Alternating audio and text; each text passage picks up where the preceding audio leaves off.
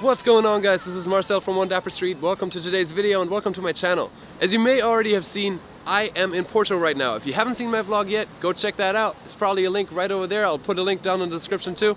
For this trip, I thought I'd show you a quick lookbook of three looks that I think work really well for Porto in the season that we have right now. So I hope you guys enjoy. Let's start.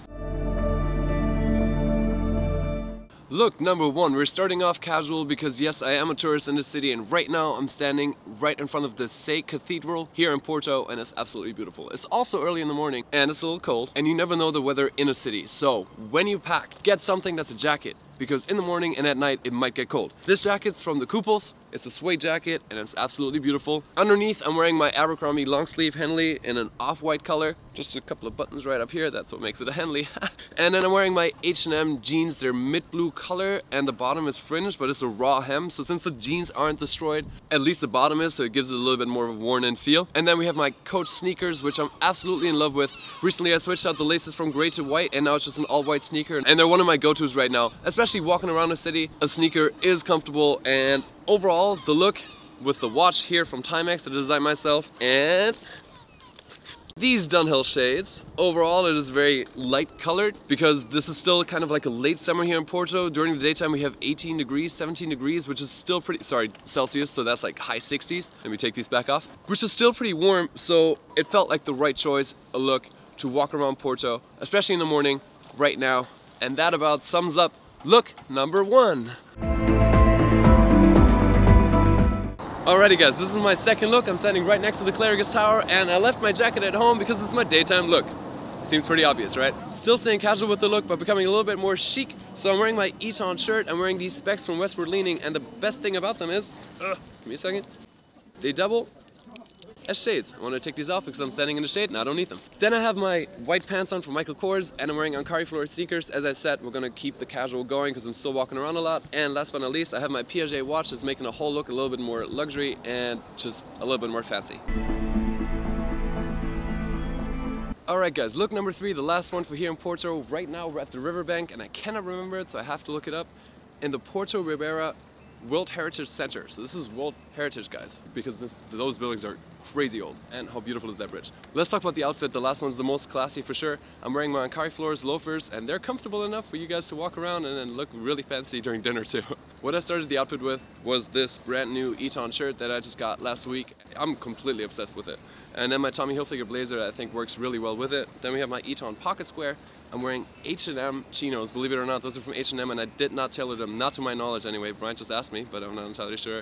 I think I didn't tailor them. I'm wearing my Tommy Hilfiger belt, my Treva watch, and these Ryan shades. You know these very well by now. The entire looks very earth colored, so still in the spirit of like a late summer, but kind of going into fall as the temperatures are dropping over here too. And that's pretty much the look. So as I said, it's comfy to walk around in, you look good, and you're ready for dinner. That's the three looks. I hope you guys like that. And obviously we have a cinematic video for you too to really get a closer look of the outfits in the settings here in Porto. So enjoy that in three, two, one.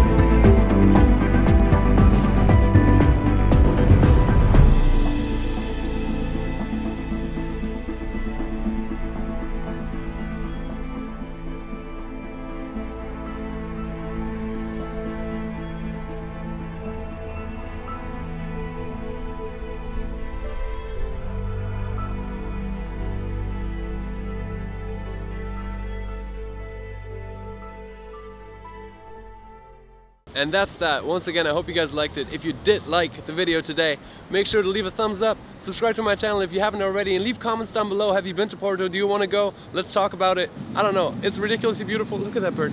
And I think all of you should come and hopefully now you know what to wear too. In just a couple of days, I have one more video from Porto coming out with what I think are the best locations to take photos in and the most important things to visit while you're here. So you guys stay tuned for that, and I'll see you then.